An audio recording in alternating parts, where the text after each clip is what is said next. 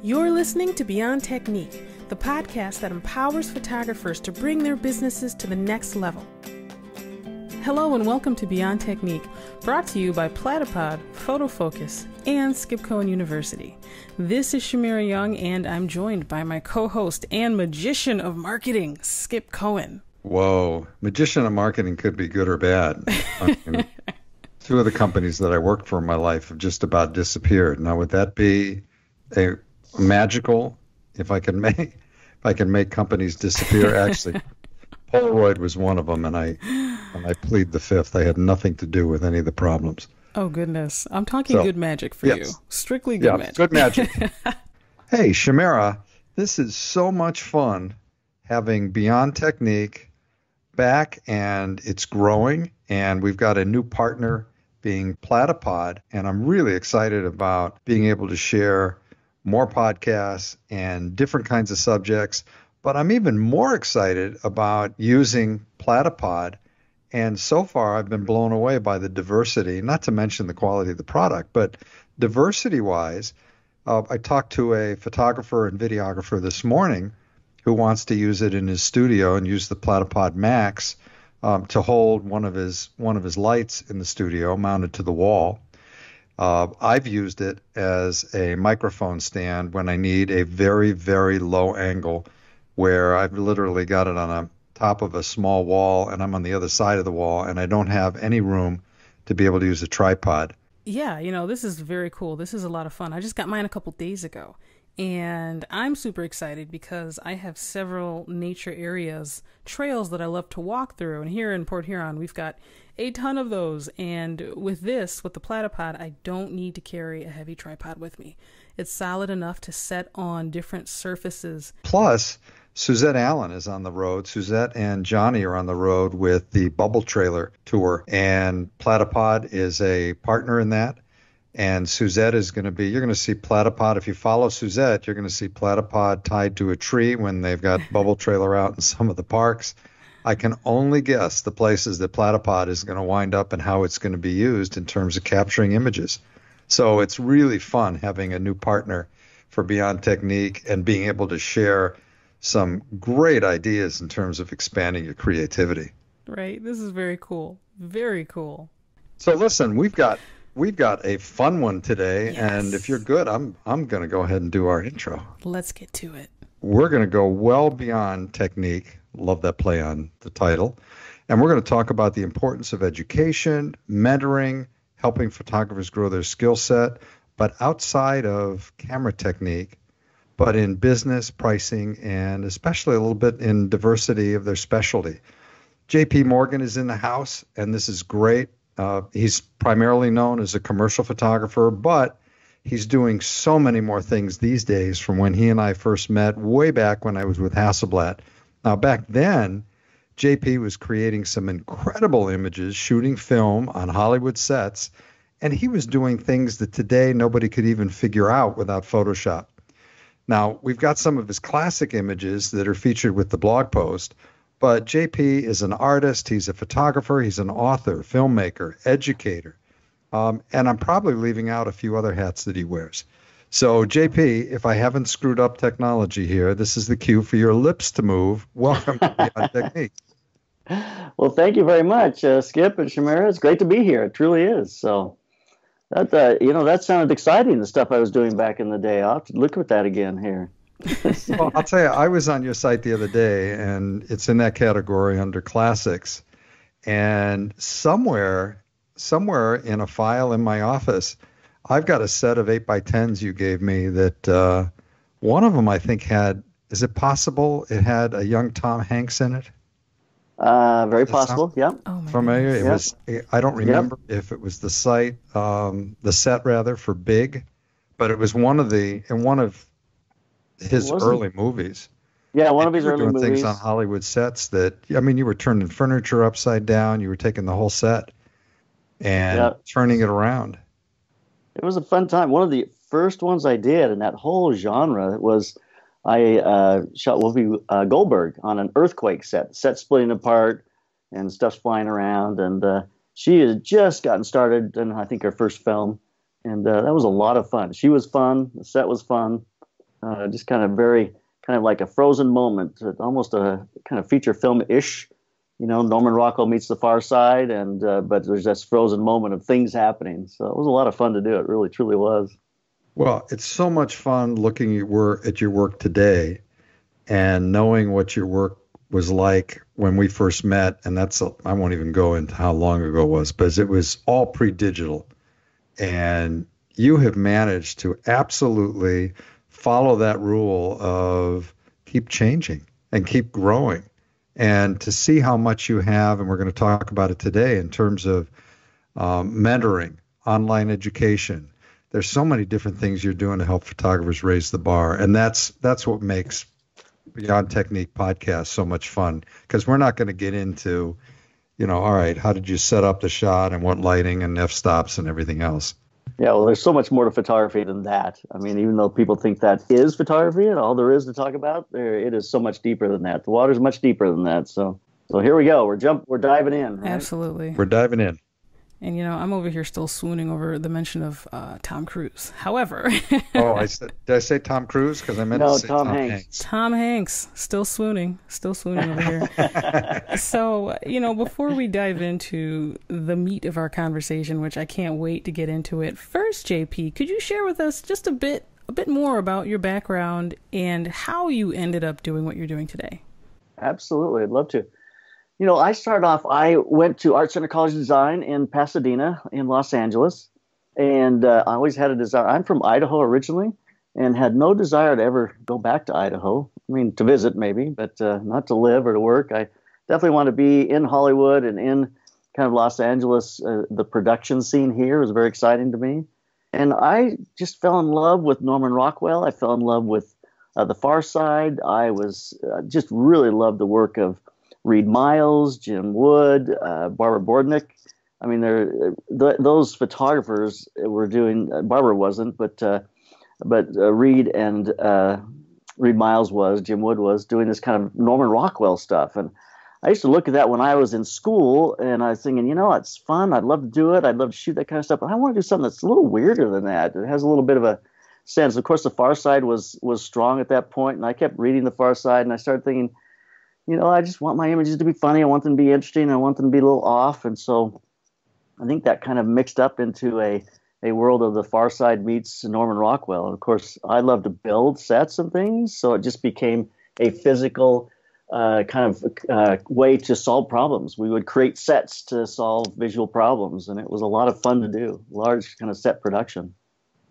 Do you remember what? I'm curious. What was your first paid assignment right out of school, or one of your first? One of my first. Um, you know, I had shot an image uh, for uh, this lady holding on. We built the set so it's on its end. So the lady's actually holding onto the ceiling, and her little son is hanging onto her leg, and her husband's uh, his shoulders on the floor. When I say husband, it was literally a couple and their child. But when you turn it horizontally, it looks like she's being blown out of the kitchen. I'd sent that out to to you know several places. Then I met a lady who said, "Put it in the black book." So I stuck it in the black book. I'd never been in the black book before. I was getting little teeny kind of jobs, nothing really, you know, it was really more like stuff that I don't know. But anyway, I got a call from uh, from uh, Domino saying, "Hey, we saw this shot in the black book. We'd love to have you do this image for us. You know, do you have any time?" you know, coming up in the next month or so, and I'm going, I got nothing but time. got, let me see I'm if I can there. work you in. Yeah. yeah, let me see what I can do. But you know, I was just perceived as being so much further along in the beginning of my career because we'd invested so much money and and time into creating these large production pieces when I was at Art Center. So I left with a pretty strong portfolio. And I just very blessed in that way. And I think I found myself early at Art Center and and I have an incredibly supportive uh, spouse and who is an art director, and she and I would build the sets, and, and she would get the wardrobe and prop things. And I remember an art director once saying, "I love this image because all of the furniture and the things are just like that midwestern kind of." Just tacky stuff. It's just wonderful, and I'm thinking, yeah, it all came from my house. Everything in there. like, so, and that's it was really the beginning, and uh, and so those projects started to come. You know, we were very blessed in that. Well, for those listeners who are too young to know what the Black Book was, Yeah, Here's your little piece of history. there was a time, this is pre internet, and Yeah. the black book was very expensive to be in. I think, am I right, JP? It went quarter page, half page, or full page, or double Yes. page spread. Yep. And every ad agency in the world had this black book. It was the Bible of talent. So Yep. when you were looking for a photographer, you literally went to the index. If you were looking for somebody the tabletop food, you could search it that way. You could search it by um, area of the country, by photo style, and it was it was a gigantic. I mean, am I right? It was probably four to six inches thick. Oh, oh yeah, I mean- very large and a weird Yeah. shape. It was like uh, you know six inches wide and, and twelve or eighteen inches, twelve inches tall or Yeah. something. It was an interesting size. Um, but you know, so much easier to to find talent in that uh, era, not because they were easier to find. It was just because less of them were available, and you Right. it was a lot. You know, it just kind of narrowed everything down. Whereas now, with everything on the internet and Instagram and everything else, it's like you're just you're just buried in talent. You know, buried in people who are out there trying to make themselves known and and to stand out. It's a much different market. Well, that was the black book, and the black book, I I think it disappeared. I'm not sure. Oh, where, yeah. do where do agencies go today when they want to go online? Any idea who the leader is? Boy, I'm not really sure. I don't know the answer See to that? that question. No. I don't know. We'll have to tr- we'll have to go research it. Well, let's Last- let's let's head over to the to one of the main topics I want to talk about because one of the hats that you wear today is definitely a leader in online education. And one of the things over the years that I've seen repeatedly, um, even in fact, I've talked about this I think once or twice on previous podcasts, but Don Blair was in his mid 70s and was still going to every possible workshop he could because you never stop learning. And in today's market, to be competitive, you've got to have the skill set. And I'm just curious about about how and when you felt that let's go take my skill set and my network and let's see what we can do to build a, a great educational empire because you really have there's an awful lot of content and it's all good solid content um, that I was looking through on the on the videos and going through the slanted lens this morning. Well, that that process was an interesting kind of uh, journey for me because I had an art director friend who just said, "You know what? You do such fun images, and you have some film background. Why don't you, you know, create a little video about one of your, uh, you know, shoots and put it up on YouTube? It's a new thing that's just happening." I'm thinking to myself, "Well, sure, you know." So I shot one and we put it up, and you know, places like Fstoppers and, and several of those places picked it up, and it got a tremendous amount of exposure and. And so when we would shoot, uh, we would put things up. And so in the beginning, it truly was, in its its basic form, it was my life's photographic journey. If I was shooting a corporate portrait, then the lesson was about corporate portraits. If I was doing a big set production piece, it was about some aspect of special effects or lighting or something that was uh, with regards to the set, the shoot we were actually doing. So it really was the stuff we were doing. It wasn't that we were brainstorming on topics, or it was the the photo life we were living, um, photo and video. I mean, we we do a tremendous amount of video. I, I either direct or DP direct or just DP. So there's a whole combination there of video that we've shot over the years, which spawned out of our uh, the large set production stuff we did because we had built such large sets. A lot of my clients would say, "Can you shoot me a commercial on this?" And so we would start. We started shooting commercials and doing a lot of commercial work back in the '90s and the 2000s, and so that kind of that's how the educational thing happened. I mean, it's kind of grown into its own world now, and my my desire for it has certainly grown because it is really satisfying when I meet someone that I have kind of helped mentor and direct in their career, and they're super successful. I mean, there's nothing more satis- satisfying than that, really. It's been a it's been a great journey, and seeing people to be able to progress. And when I get emails saying, "I just love what you do. It's helped me so much," and you know, you know, it really makes it worthwhile. So. Oh, that's so cool. That's so cool. And have you noticed any trends as far as where photographers are struggling or needing the most help? You know, it's fascinating because I've seen these trends kind of uh, kind of come and go a little bit. Um, I've we have really gone through an era and are I think turning the corner uh, in a pretty strong way where the non-technical window light, um, you know, uh, kind of shooters were really the thing. and uh, beautiful work, uh, great perspective. But I'm seeing now that the market's starting to turn a little bit, and we're becoming a little more strobe oriented again, and a little more uh, focused on creating images rather than just finding uh, the light. So I, am seeing that direction. Instagram has certainly come on super strong. I was at Photo um, or at uh, Shutterfest in in St. Louis this last year. I spoke there, and and I was thrilled at the number of women. It was like 58 or 60 percent women who were there at that conference, and so very strong representation. And and you see it in the work. You know, you see a different perspective and a, and a great kind of perspective that's emerging in the market because of that that force. So I think we're going to see uh, the the technicality. Uh, you know, people becoming a little more directed towards strobes and controlling light, and I think that will start to change the, the market into a little bit of a hybrid between that that natural kind of found light and some more control. So it'll be interesting to see how that emerges. Well, I love it when I meet somebody who tells me that they are a natural light specialist, which we all know that's redefined. That means they're afraid of studio lighting. Yeah, exactly. So they're not they're they're not doing anything. And the truth is, we all like natural light. I mean, if you look sure. at some of Sue Bryce's work, she's using um, studio lighting to create a natural light look, which is all part of the the technique and the skill set and it always it just amazes me when somebody has chosen to keep their work very restricted, um, essentially to you know sweet light.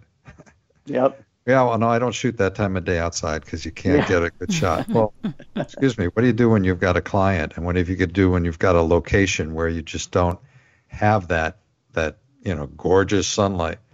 Uh, just before the podcast, everybody, we were talking about an old mutual friend, Dean Collins, and Dean used to talk about the only difference between the sun and your studio strobes is recycle time. Yeah, which I, which I always like that. That's a great. So if, if, we stay on the topic of education, mm-hmm. um, let's talk about let's talk about your ability to mentor. What do you what do you look for? I mean, what happens when you get somebody that just doesn't have the skill set yet, but they want they want to work with you and they want you to be their their mentor. What are you looking for when when you're offering your services under under a mentoring umbrella? You know, it's fascinating because I think that skill set is the least important quality. And as I say that, it'll freak God, most I people out. it's like it just is. Well, you know, it's fascinating because I I tell people I know photographers across across United States that I have worked with who really, I would say, do not have incredible skill sets. And in some ways, I think that's almost not the most important attribute you can have to be successful in this industry. But you do have to have a show up on time, business kind of personality, give good, solid work. The work doesn't have to be the best work in the world, but it has to be a solid work. And I tell everybody it's kind of like dating or marriage, I guess. There's somebody for everybody. And so you may not be the person who's going to shoot for the biggest agencies in New York City, but you can be and create a great photo business and find clients who will be thrilled with the kind of work that you do. So I think we, we think we look at this industry too much on a the uh, one uh, the five percent, the ten percent maybe of the absolute best there is out there, and I think there's a gamut of really successful people who are making great money and and uh, living excellent lives and contributing creatively and may not be the most creative people in the world. So I love getting hold of one of those and helping them to create the business structure that they need and help them create the portfolio that they need and then get out there and to, and to work it. You know, you can have an incredible portfolio, you can have an amazing portfolio, and if you just won't engage and, and find work and work on your business, then you're just not going to succeed. And so that's really that's what I want. Somebody who's going to work on their business. Well, you and I share a mutual buddy with Tony Corbell. Mm-hmm. And I remember Tony talking at one particular workshop about when he first started. He wasn't the best photographer in town, but he was determined to be the nicest. And if you follow all of Tony's career, yeah. Um, the only difference today is he's still the nicest, but he's also one of the very best. Mm-hmm. so right. he kept growing his skill set all along, constantly growing, constantly learning.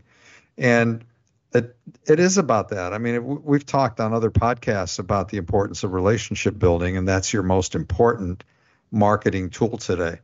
And it's not it's not always the design of your website and the quality of your work. It's about relationship building. It's about getting to know the client. It's about listening more than talking. It's about really understanding and seeing what the client needs and then meeting that needs, or better yet, exceeding yeah. those needs. Yeah. Absolutely. Well, I, I shot something on Monday and it was late, and the client said, I really need these by Wednesday morning. And I, I mean, when I say yes, there is no other option. Sleep is not an option. You know, there's nothing, it, it has to be done. You have to be careful when you say yes, but when you say yes, you gotta you gotta make it happen. And I think you're absolutely right. The service to clients and and really just creating an experience that they're going to feel comfortable with, and when they come back, they know they're going to be taken care of. So, for the photographers out there who are listening, and maybe they haven't focused on these customer service skills, because you're right, they are so important, and they really essentially help you stand out. It can be a great differentiator from your business, uh, mm-hmm. your business compared to others. So, for those who are listening who may not know where to start, is there one particular skill? um, service skill that you think is the most important that they should start focusing on? Well, it, it's interesting because I really focus on two things when I start with people. One is uh, this thing called a daily routine for success, where I want them to get into the habit of certain things they have to do every day that will uh, get new work.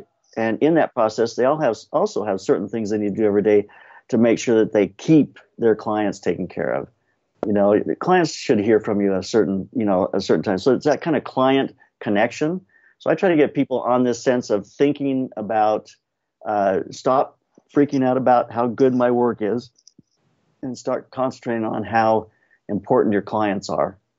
Uh, and once you can do that it makes a huge difference. It's all about relationships like you said. Yep. absolutely.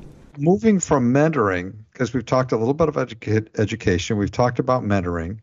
One of the things that I love when I look at your online programming relates to diversity. And one of the ones that I, I noticed right away was um, one of your online programs on food photography. And God, I just, I wish I could take every new wedding photographer out there and make it mandatory that they take a food photography course. Not that they're going to be setting things up with lights and sets and you know have a stylist to be able to present the food the right way, but it would help them understand the right way to c- compose, to light. I mean, you're shooting a, a wedding, and I love it when I'll ask a group of wedding. I'll have I'll have a bunch of wedding photographers in a workshop, and I'll say, you know, how many of you do weddings? How many of you like doing engagements? anybody here doing commercial work or tabletop and no hands go up. And then I've got to remind them the toughest tabletop shot in the entire world is a poorly lit bridal cake.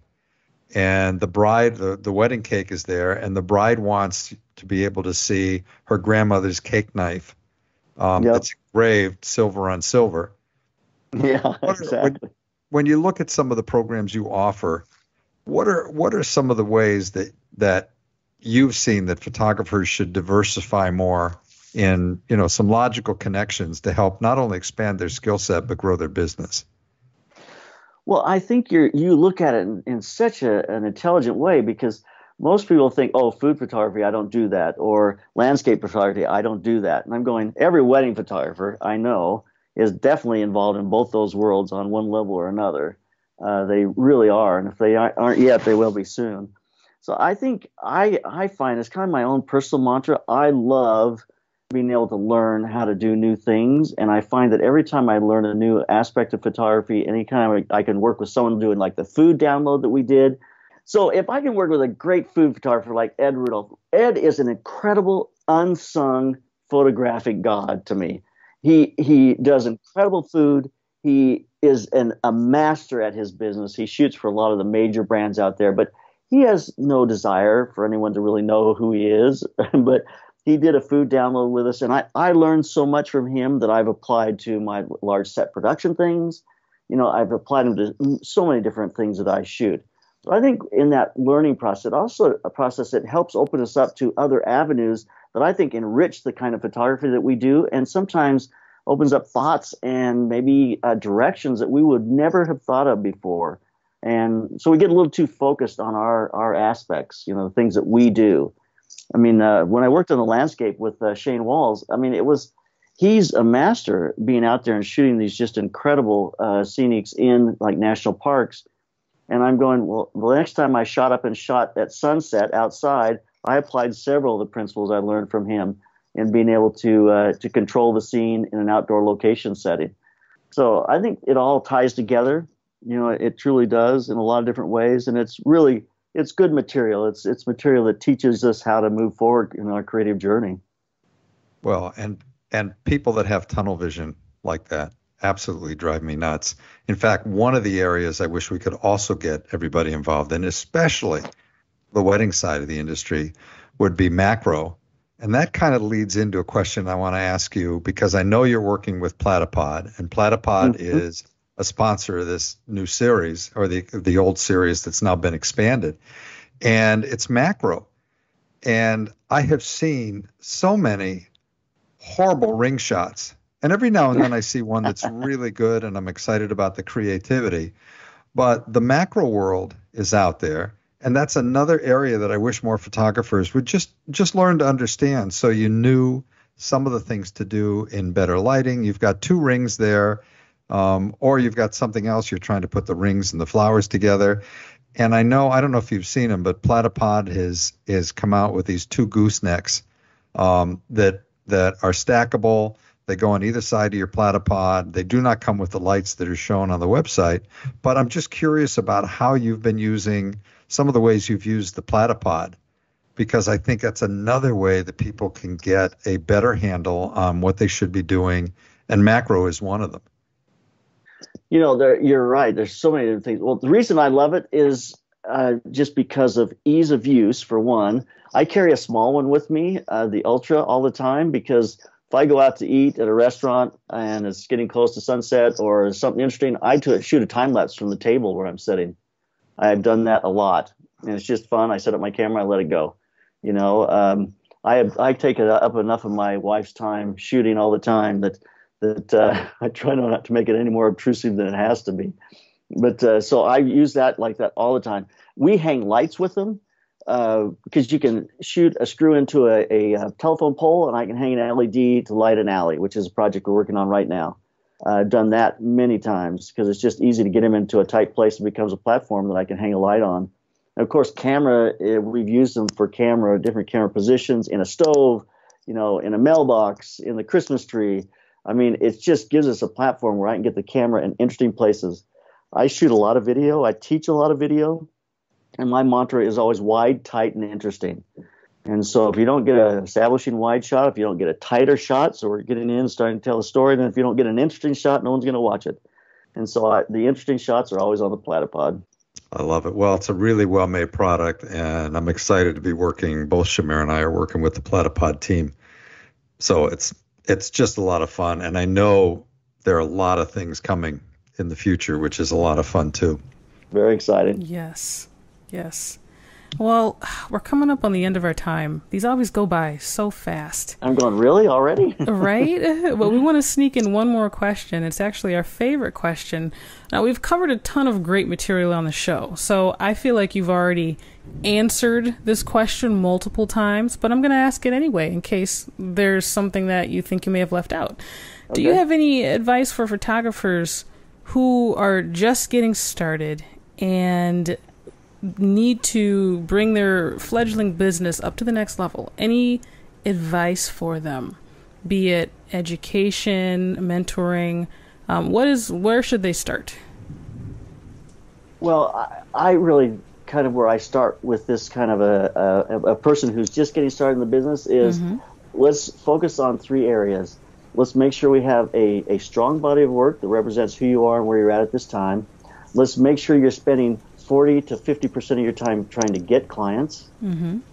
And then let's make sure you're spending time understanding the business and how to make sure that you can keep clients. You can have a, uh, just a very healthy business once you have clients. So, but I want them to spend almost half their time getting work and you know looking at the internet and looking at the slanted lens as, as much as i love it is not going to get work for you you know and i think we need to focus on those three areas just a solid portfolio for where you're at good business foundation for your business, and then really the ability to to just go out there and find clientele. I, sometimes we find these things in the strangest of ways. I worked with one one gentleman who's making money doing real estate stuff, and I said, you know what, you are not charging very much every time you go out. And he goes, well, I just can't afford to charge more. And I said, well, give clients an excuse to pay you more money. I said they need an excuse. Give them a, a 12 hour turnaround, a 24 hour turnaround, a 48 hour turnaround, and, and jump the price every single time for those. And all of a sudden, he was not charging a lot per visit, and he was doing a lot of visits per day. But all of a sudden, most of the people were going for the, the faster turnaround, and it almost doubled what he was making per day. Wow. You know, so understanding the business, understanding how to give people an excuse to give more money, but then working really hard to get clients is really the foundation. Love it. Speaking of understanding the business, we talked about all your online programs. Where would people go to find the full? Where do you want to send them for the full selection of everything from your online programming to mentoring to anything new you have coming up in the pipeline? Okay, if they go to theslantlens.com is our website. On there is on our, our online courses, and uh, my mentoring is on there as well. So they go to online courses or mentoring. Uh, we have an online course on business, and that business course has 16 segments that teach different aspects of business from the very beginning to more advanced. And they purchase that, and then with that, uh, once a month we have a call for an hour and a half, and people call in, and I just talk to the whole group one on one. And we have great calls with that, you know, and help people to overcome some of the, some of the things they're facing. Most people are facing a lot of the same questions, you know, so it works out to be able to be together in that it's like a live one-on-one call with me once a month when you join that group, and it's a pretty reasonable uh, fee to just get involved. A one-time fee, you have the materials, and you can get on that call for the rest of your life. Well, I don't know, rest of my life maybe. But uh, no, this in the photo industry, even if even if you've passed on, trust me, photographers out there will find you. Yeah. yeah. There will be there will be no rest. That's true. Fantastic. We'll make sure to include those links in the show notes as well so that people can Excellent. check you out. And Skip, where can folks find you online? Um, it's always the same. It's everything I write is at skipcohenuniversity.com. Uh, you'll also find me Skip Cohen on Twitter, Skip Cohen on Facebook. And just a reminder to everybody, Chamira and I are also having a lot of fun with Platypod and the platypod.com website. You're going to see some changes coming and Platypod on Instagram and Facebook. And Chamira, as always, I got to ask the question where does everybody go to find yes. you? Folks can find me. They can send me an email at chamira at photofocus.com. That's my first name, C H A M I R A, at photofocus.com. We love getting questions, ideas, and feedback because it shapes how we move forward with the show. And we love doing the show. And on that note, JP, we just want to thank you again. You offered excellent advice. Lots of great insight. Very welcome. Very welcome. It was great to be with both of you. It was great to spend some time together. Best of luck in all that you do. You deserve it. Thank you. And we want to thank our listeners for joining us as well. Please tell your friends about this podcast, especially if they want to bring it up to the next level. We look forward to having you with us next time on Beyond Technique, brought to you by Platypod, Photofocus, and Skip Cohen University.